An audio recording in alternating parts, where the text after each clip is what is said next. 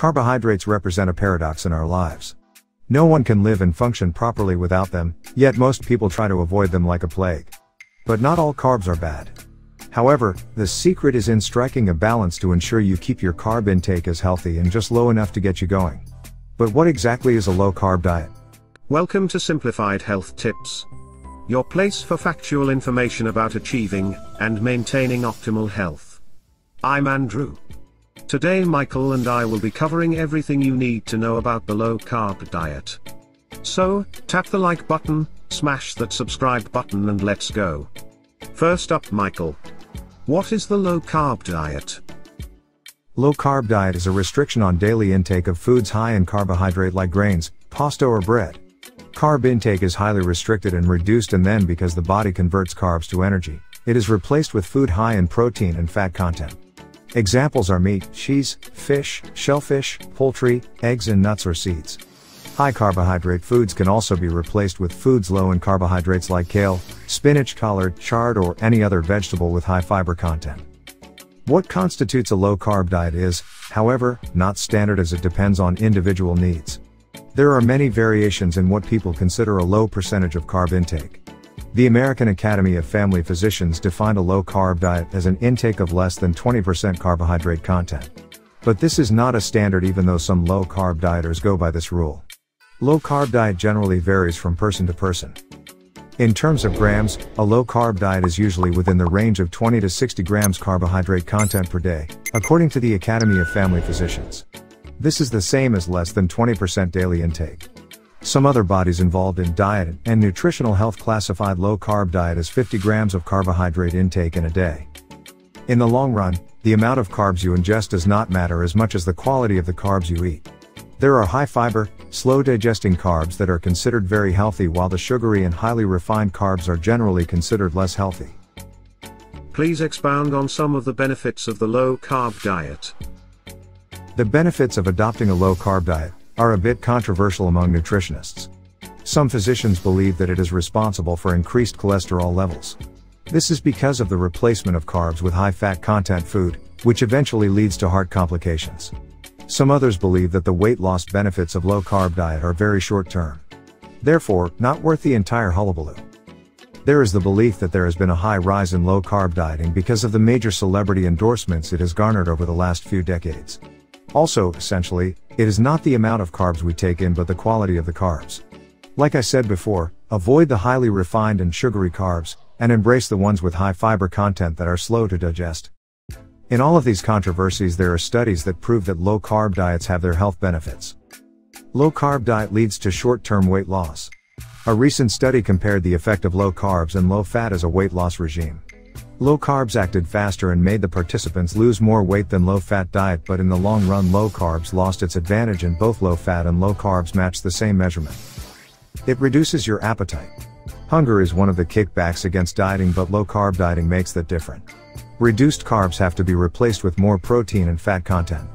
And this invariably means you consume much fewer calories and this also makes you feel less hungry. Reduces abdominal fat. Visceral fat is one of the most harmful to us as humans. This is the fat stored around our abdominal regions. A high percentage of overweight people on a low carb diet lose their harmful abdominal fats that can cause metabolic issues. Reduces triglycerides. Triglycerides are fat molecules present in our bloodstream and, in high levels, they increase our risk of heart disease. Low carbs lead to a dramatic decrease in triglycerides. Increases HDL cholesterol level or good cholesterol. One of the best ways to increase good fat or HDL present in our bloodstream is to increase our fat intake and a low carb diet triggers an increase in fat intake. Reduces insulin and blood sugar level. Studies have shown that the best way to lower insulin and blood sugar level is to cut your carb intake. It is particularly helpful for people living with diabetes and insulin resistance. Studies have also shown that low carb diet treats and even goes as far as reversing type 2 diabetes. However, if you are diabetic, you will need to talk to your doctor before cutting off your carb. Your medication will have to be adjusted to prevent hypoglycemia. It may lower blood pressure. Low carb diet has the potential to substantially reduce blood pressure, which subsequently ensures the prevention of hypertension related diseases. Acts as a form of treatment, or therapy for some brain disorders like epilepsy. When your body can no longer find sufficient glucose from carbohydrate because of your low carb diet, The body burns ketones instead. Ketones are produced from fats as an energy source for the body instead of glucose from carbs. Ketone bodies are produced as a response during low carb dieting or starvation. The brain needs glucose. But a large part of the brain can also utilize and burn ketones. A study on epileptic kids placed on ketogenic diet showed that there was more than 50% decrease in their seizure occurrence. And 16% of them became seizure free. Ketogenic and low carb diet studies are now being tested on patients with Parkinson's and Alzheimer's diseases. It acts on the bad cholesterol or LDL and improves it. Cutting carbs not only decreases the level of LDL in the blood, but it also increases their mass size making them less harmful to us. Protects against metabolic syndrome. This is a group of symptoms that include low HDL cholesterol level, high blood sugar, abdominal obesity, high blood pressure and high triglycerides. These increase your risk of having diabetes and heart conditions. Low carb dieting is known to treat all five of these symptoms. Thank you. So, are there any risks associated with this diet that we should be aware of? Without sufficient carbohydrate to be broken down into glucose, fat becomes your major supplier of energy source. Your body breaks down fat into ketones. The ketones then become your primary source of fuel or energy for your body, instead of glucose. This puts your body in a state commonly called ketosis. There are risks associated with low carb dieting and increase in fat and protein content in the body. Kidney problems, if you already have issues with your kidneys, increasing your body protein content will put an extra strain on them and this can worsen their function.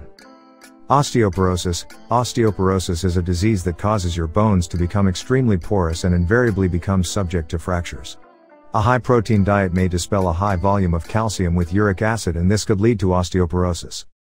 Kidney stones. This is also caused by dispelling a high amount of calcium with urine and as we all know, kidney stones are caused when our urine contains more crystal forming substances like calcium, uric acid or oxalate, than the fluid contained, usually more than the urine can dissolve. High cholesterol level, foods like whole dairy products, fatty meat parts and some other high fat foods can increase your cholesterol levels. Who is the low carb diet recommended for? You should embark on or start a low carb diet if you have brain seizures or suffer from epilepsy, have a high LDL blood content, have high triglycerides in their blood, have low HDL in their blood, suffer from type 2 diabetes and insulin resistance, want short term immediate results with weight loss. If you want a long term weight loss plan regimen can also embark on a low carb diet.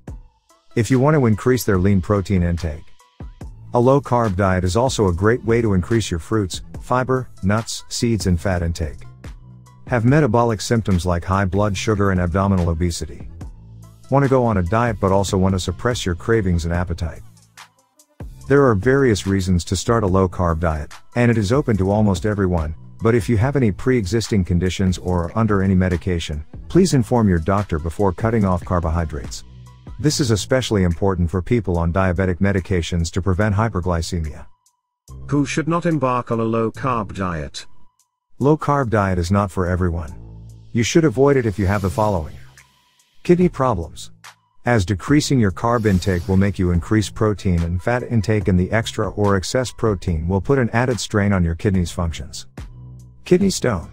High protein content leads to excreting high volume of calcium with urine, which can cause kidney stones. Heart conditions. If you already suffer from heart conditions, you may want to steer clear of low carb diet because it may increase your fat and cholesterol levels. Pre-existing bone conditions. Low carbs may cause osteoporosis in some people due to high excretion of calcium in their urine. Vitamin or mineral deficient patients. Subsequently low carbs lead to deficiency in minerals and vitamins.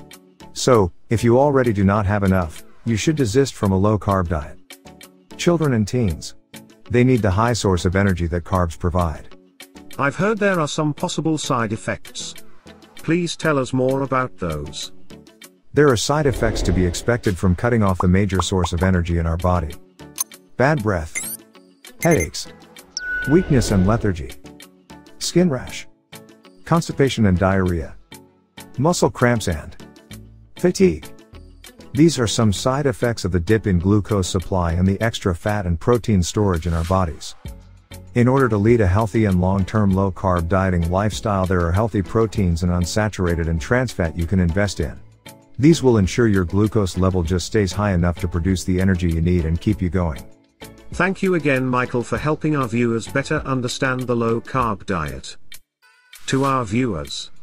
Don't forget to like and share this video with your loved ones. You may just be saving a life. You can also drop your comments and questions, and we will certainly get back to you. See you next time. Thank you for watching to the end of our video. If you found the information helpful, please like the video. Also, don't forget to join the family by subscribing to our channel. See you next time.